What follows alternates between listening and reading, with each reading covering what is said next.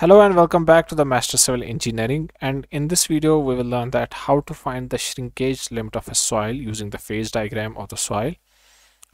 So first what is a shrinkage limit?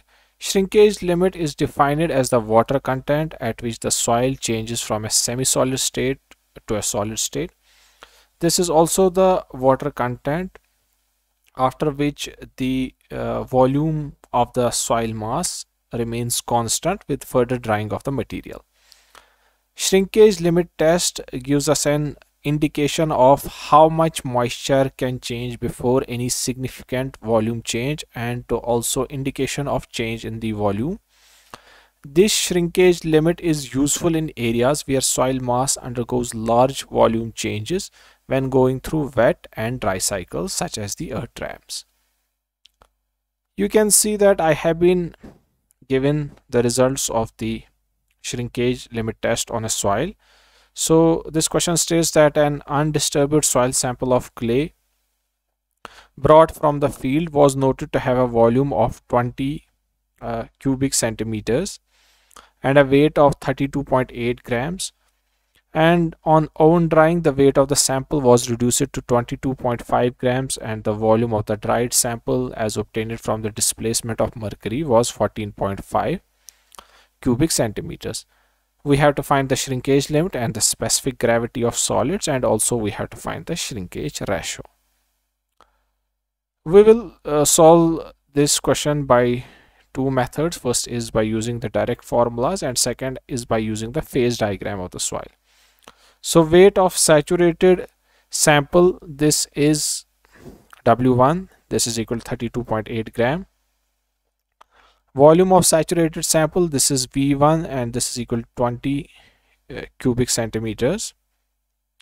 Weight of dry sample this is equal to WS this is 22.5 grams. And volume of dry sample this is V2 this is equal to 14.5 cubic centimeters Shrinkage limit of soil, this is given by the direct formula as WS, this is equal to W1 minus WS minus V1 minus V2 into gamma W divided by WS into 100.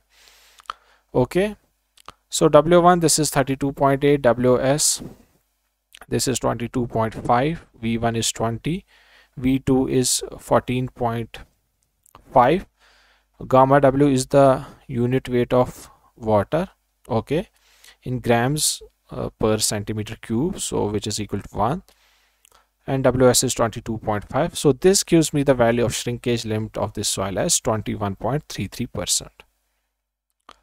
After finding the shrinkage limit specific gravity of solids this is given as uh, ws which is the weight of the dried sample divided by v1 into gamma w minus w1 plus ws putting values. So gs will be equal 22.5 divided by 20 into 1 minus 32.8 plus 22.5 which is equal to 2.32 is the specific gravity of the solids. Shrinkage ratio this is given as the okay dry unit weight divided by the unit weight of water. So dry unit weight this will be uh, this will be equal to ws divided by this v2 ws is 22.5 and v2 is 14.5 cc and unit weight of water is 1 so this gives me the value of shrinkage ratio as 1.55 so this is how you can find the shrinkage limit specific gravity of solids and shrinkage ratio using the direct formulas. Now let's try to find the same values using the phase diagram of the soil you can see the phase diagram of this soil for the saturated state and the dry state.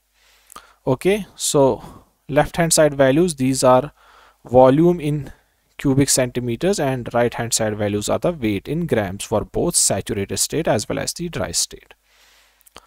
Okay so to find the shrinkage limit we have to find the weight of water that would fill in the void volume in figure b okay so we have to find the weight of water that will fill in this void volume which is marked by a. First weight of water at stage a okay so how much water initially the soil had. So this is total weight of soil okay weight of saturated soil which is 32.8 minus weight of the dried soil which is 22.5 so this gives me the weight of soil weight of water at stage A as 10.3 grams which is shown here. Okay 10.3 grams is the weight of water in stage A. Now we have to find the weight of uh, water that will fill the void volume in stage B that is in the dry state. So weight of water at stage B this is equal to total weight of water in stage uh, A that is in saturated state which is 10.3 minus weight of water okay which is in this portion in state B okay this weight of water above this dashed line in stage A. So this is equal to total volume of soil which is 20 minus volume of soil in stage uh, dry state that is state B which is 14.5 so we will be remaining this much portion of volume which is 5.5 and if you multiply this portion of volume with the unit weight of water so you will get the weight of water in this much portion okay which is above this dashed line in state A. So it will be 10.3 minus 20 minus 14.5 into gamma W. So this will be 10.3 minus 5.5 into 1 which is equal to 4.8 grams. So 4.8 grams is the weight of water that will fill uh, this void volume in dry state. After finding this uh, after finding this uh, weight of water you can find the shrinkage limit so shrinkage limit is the water content corresponding to figure b so shrinkage uh, limit this will be simply weight of water in this void volume which is 4.8 divided by weight of the solids in dry state which is 22.5 into 100 and this will be equal to 21.33 percent which is same as before which we found out by using the direct formulas. Okay. After that we have to find the after finding this uh, shrinkage limit now we have to find the specific gravity of the solids so specific gravity of the solids this is uh, defined as the ratio of the weight of given volume of solids to the weight of an equivalent volume of water okay so weight of a given volume of solids divided by weight of an equivalent volume of water. So it will be Ws divided by Vs into gamma W. Ws is the weight of solids in dry state.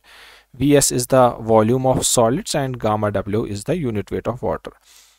Ws we already know this is equal to 22.5 grams. We have to find the volume of this so uh, the volume of this solid portion in dry state so this will be equal to total volume which is 20 okay total volume which is 20 minus uh, volume of this portion which is the volume of volume occupied by water. So it will be weight of water divided by the unit weight of uh, water which will give you the volume of the water. So if you subtract from total volume the volume of the water you will get the volume of the solids. So total 20 is the total volume and from this if you subtract the volume of water you will get the volume of solids which is 9.7 cubic centimeters so specific gravity this will be the weight of solids okay which is 22.5 grams divided by volume of solids which is 9.7 and multiplied it with unit weight of water which is 1 so this will be equal 2.3 2 will be the specific gravity of solids which we calculated earlier okay? So this is same as the value which we got earlier by using the direct formulas.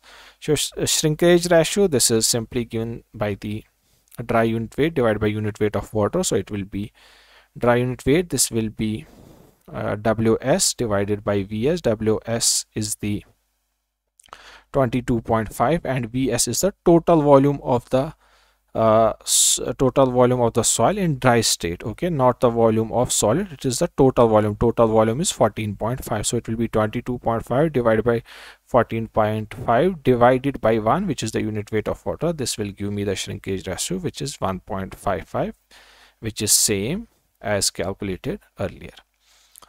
So this is how you can calculate the value of shrinkage limit specific gravity of solid and shrinkage ratio from the uh, form from the formula as well as from the phase diagram of the soil. I hope this solution video was clear and effective and you definitely learned something new from this video. If you found this video helpful, please subscribe to my channel and share this video. Thanks for watching and stay tuned.